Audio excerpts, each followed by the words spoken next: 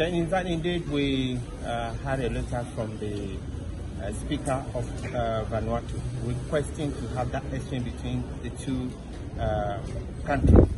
And the Honorable Speaker did mention that immediately the, um, the ranking committee on trade uh, put together a plan to initiate or to have that relationship immediately concretized. And so these are the areas that we spoke about and is of interest to the Commission as well. We will also be extending the same information to our people back in Vanuatu of the good rapport that we had with the uh, Honorable Speaker of Parliament.